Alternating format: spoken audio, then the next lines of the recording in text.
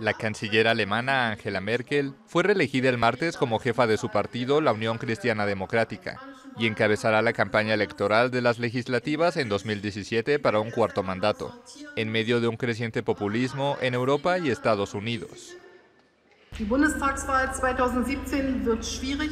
Esta elección de 2017 será la más difícil desde la reunificación.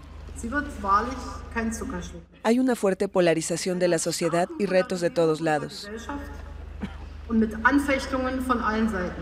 Merkel obtuvo el 89,5% de los votos, su segundo peor resultado en 16 años como líder de su partido.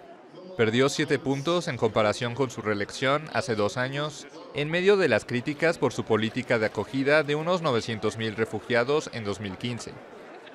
La canciller, con 11 años en el poder, se enfrentará en las elecciones a los socialdemócratas y al partido Alternativa para Alemania, que promueve una derecha populista y xenófoba y que ha capitalizado las críticas a Merkel con posicionamientos contra el Islam y los migrantes.